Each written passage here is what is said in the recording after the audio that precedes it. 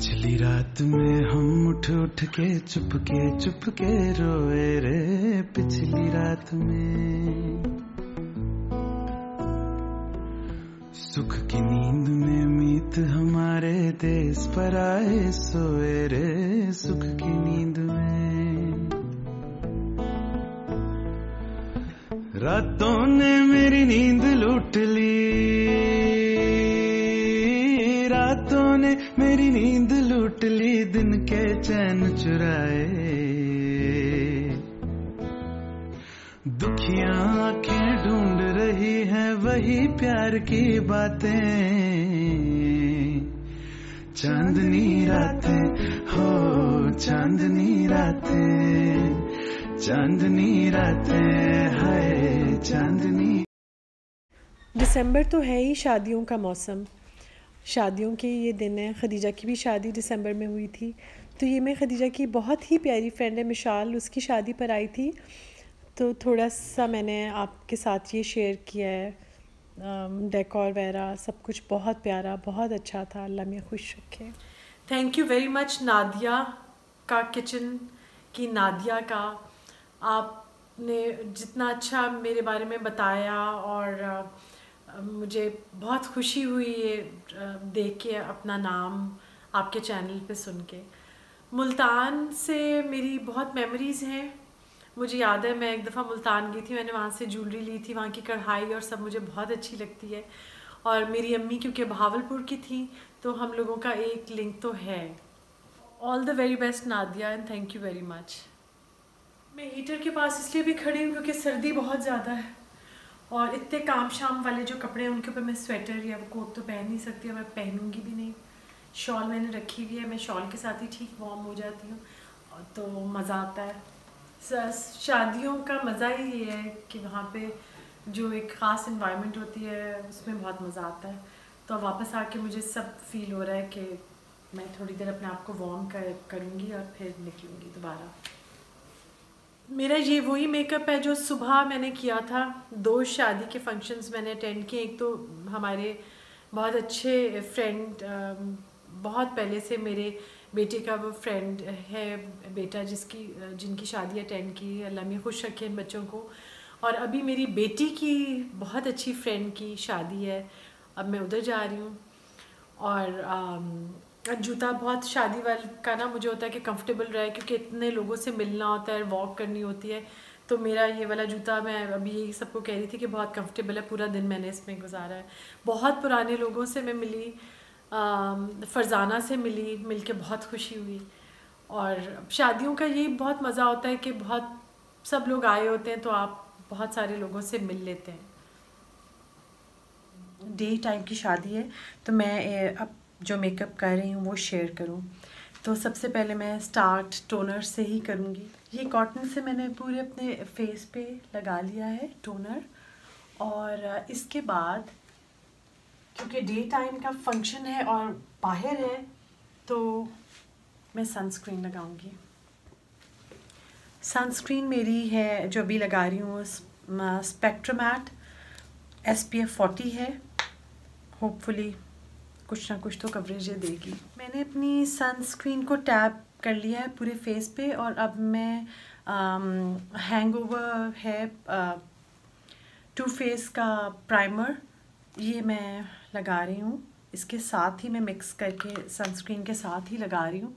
अच्छा सब लोग अपने अपने स्टाइल से मेकअप करते हैं और सबके अपने होते हैं। नॉर्मली बहुत सारी चीज़ें होंगी जो आ, लगेगा कि ये ऐसे नहीं क्योंकि मैं ब्यूटिशियन तो हूँ नहीं ये मैं आपको वो बता रही हूँ कि जैसे मैं अपना मेकअप आज कर रही हूँ या मैं करती हूँ तो मैं वो आप लोगों के साथ शेयर कर रही हूँ। अगेन क्योंकि सुबह दिन का फ़ंक्शन है और आउटडोर है तो आ, मैं सेकंड भी अपनी 50 एस की सीसी क्रीम है इट की। यही सन ब्लॉक ही लगाऊँगी क्योंकि मुझे सन बर्न होने और बाकी जो धूप में जाने से ना बहुत प्रॉब्लम हो इसके बाद मैं इसमें ऐड कर रही हूँ वंडर ग्लो है शार्लेट टिलबरी का। मुझे इसकी फाउंडेशंस भी बहुत पसंद है। आ, लेकिन ये वंडर ग्लो है ये आ, ये ग्लो एक ले आता है मेकअप में तो ये मैं इसके साथ इसमें ऐड कर रही हूँ। अच्छा मैं फाउंडेशन ब्यूटी ब्लेंडर से नहीं लगाती, मुझे कन्वीनियंट ब्रश लगता है। मेरा बे मिनरल्स का ब्लश ब्रश है जिसे मैं लगाऊँगी। और अगेन वो बात है कि मेरे पास ना और ब्रशेस भी हैं, लेकिन जैसे होता है ना किचन में आपको जो एक चम्मच आपको या एक चीज़ जिसे आप फ्राई पैन में एग फ्राई करते हैं, कुछ तो आप एक ही चम्मच यूज़ करते हैं। उसी तरह से आपके हाथ को आदत हो जाती है। इसी तरह मुझे भी मेकअप की जिन ब्रशेज़ की, जिस चीज़ की आदत है, मैं उसी को फिर यूज़ कर रही होती हूँ। मुझे खदीजा ने और बच्चों ने वो लेके दी हुई है। मॉर्फी का भी मेरे पास पूरी किट है, लेकिन मैंने वो कभी खोली ही नहीं है। वैसे आपको पता है कि मैं हमेशा सिर्फ़ न्यूड कलर्स ही लगा रही होती हूँ, लेकिन अभी मैं थोड़ा सा टेंट इसका डालूँगी। अर्बन डिके की ही हैवी मेटल्स के किट है। इसमें मेटेलिक कलर्स हैं। कुछ कलर्स हैं इसमें तो मैं ये यूज़ करूँगी, ये आपको भी दिखाती हूँ। क्योंकि डे टाइम है तो मैंने बहुत ही लाइट सा लगाया, मैं अंडर आई जो एक्स्ट्रा कुछ ड्रिप हुआ हुआ है, मेरा आई शेड वो मैंने इस ब्रश से क्लीन किया। अपनी आईब्रोज़ करूँगी अब मैं अनस्टाशिया की किट के साथ। ये मैंने आपको दिखाई भी है, शायद पहले भी आई थिंक ये भी ना मुझे बहुत लगता है कि आईब्रोज़ को भी आप बहुत नीट और कभी भूला ना करें, वरना नॉर्मली हम मेकअप पे वो करते हैं कंसंट्रेट और आईब्रोज़ पर नहीं, मेरे आईब्रोज़ मेरा बहुत फेवरेट पार्ट है। स्टार्ट करेंगे इनको इवन करके आपने ब्रश कर लेना है। और उसके बाद ये मेरी आईब्रो की पेंसिल है। इससे मैं शेप करूँगी और फिर इसको फिल करूँगी। मैंने उस लाइंस आईब्रोज को डिफ़ाइन करके उसके बाद अब मैं फिलिंग के लिए ये वाला यूज़ करूँगी। ये थोड़ी सी एक थिक होती है आ, इसकी निप तो आईब्रोज का भी इससे फिल करूँगी।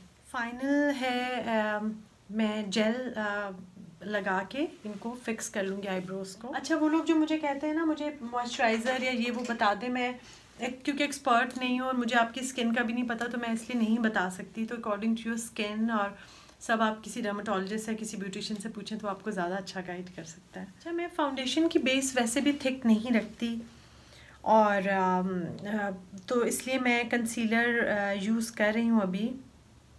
ये वाला स्प्रेड करके इवन कर दूँगी। अच्छा आपने इसको ना सर्कल में करना है, हर तरफ़।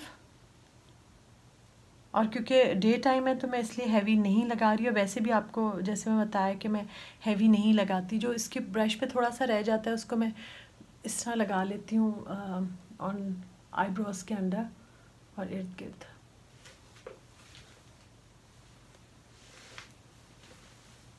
अब मैं जाऊँगी सैलून, मैं अपने बाल बनवाऊँगी क्योंकि मैं बिल्कुल अपने बाल नहीं अच्छे बनाती, मुझे हेयर स्टाइल एक्चुअली पता भी नहीं है। तो मैं इनको बन बनवाना चाह रही थी तो वो मैं सैलून से बनवाऊँगी और उसके बाद आके मैं अगली आगे अपना फुल मेकअप करूँगी। क्योंकि मेरे इस तरह के बाल हैं जो हर वक्त ऐसे ही ऐसे ही रहते हैं। तो मेरा दिल चाहता है कि मैं कभी कभी इनको चेंज करूँ। सैलून से मैं बाल तो बनवा कर आई थी लैशेस भी लगवाई थी मैंने लेकिन आ, मुझे पता वो समहाउ ठीक नहीं लग रहा था मुझे लगा कि ठीक नहीं लगी तो मैंने उसके बाद लेटर ख़ुद से ही मुझे करना पड़ा। बाल तो ठीक थी लेकिन बाकी का मेकअप मैं अब आपके सामने कर रही हूँ।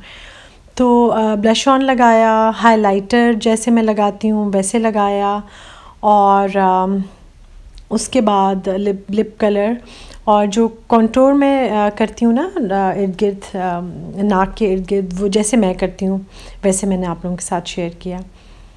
अच्छा तो मैं बार बार कह रही हूँ कि मैं प्रोफेशनल नहीं हूँ मेकअप आर्टिस्ट नहीं हूँ जैसे मैं अपना मेकअप खुद करती हूँ, ये मैंने आपके साथ वो वीडियो शेयर किया तो आई होप आपको अच्छी लगेगी।